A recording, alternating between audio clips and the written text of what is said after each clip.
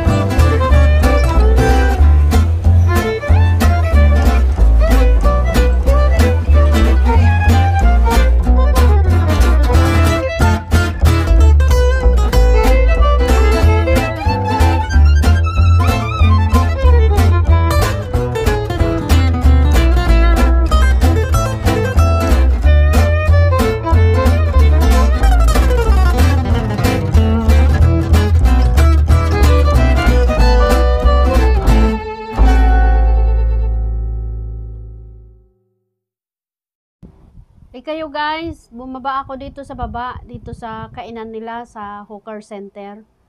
Ah, may ano dito, may marami silang masarap na biryani dito. At saka gusto ko sanang kumain kaso lang medyo maraming tao kaya next time na lang. Pero meron pong dito po yung mga masasarap na biryani. At saka may ano din po sila dito yung kambing soup, yung ang tawag po nila is tulang kambing. Yun po yung kambing soup. Tsaka, kung gusto nyo pong bumili ng mga buto-buto, buto ng baka, buto ng kambing, buto ng lamb, dito po kayo bumili. Kasi mura lang po dito. Huwag po kayong bumili sa ano, sa sa mall, mahal po doon. Dito po kayo, pumunta po kayo dito at dito bumili. Dito na lang, dito na lang mga kaibigan. Sa susunod ulit, sa ulitin. Bye!